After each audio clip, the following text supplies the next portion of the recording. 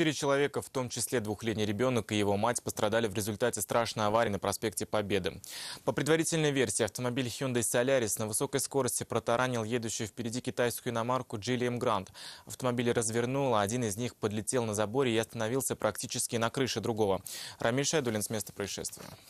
Мы только выехали за заправки, даже не разогнались, и все, и сразу удар. Истратить только что приобретенное топливо им так и не пришлось. Как такое возможно и все ли живы? Эти вопросы невольно возникали у тех, кто видел фактически стоящие друг на друге автомобили на проспекте Победы. Авария обошлась без жертв. Юрий, пассажир Джили М. Грант, единственный, кто отделался лишь испугом. Как все произошло, на месте сказать не мог, не понял сам. Получается, вот он как-то в бок. Может быть, он хотел перестроиться на большой скорости, как бы не, не, не рассчитал расстояние, потому что такой удар не как бы неровный именно в заднюю часть. Сам момент аварии попал в объектив видеорегистратора, едущего сзади автомобиля. На съемке видно, а вот Джили выезжает с территории заправки, и спустя секунды на большой скорости сзади в машину врезается Hyundai Solaris. Автомобили развернуло, они пересекли проезжую часть. Джили, врезавшись в забор, подлетела как на трамплине. Передняя часть осталась висеть на ограждении. Задняя частично опустилась на остановившийся снизу Hyundai. В итоге травмы получили получили 4 человека. Супругу Юрия, сидевшую за рулем, госпитализировали с дисторсией шейного отдела позвоночника и ушибом мягких тканей грудной клетки. В больницу для тщательного обследования забрали и их двухлетнего ребенка.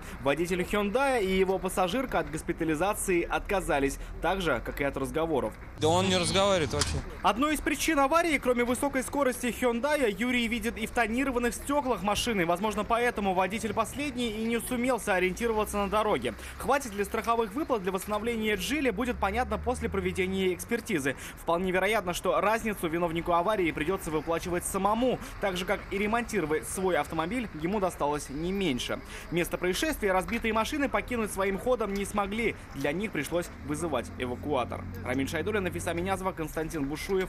Вызов 112.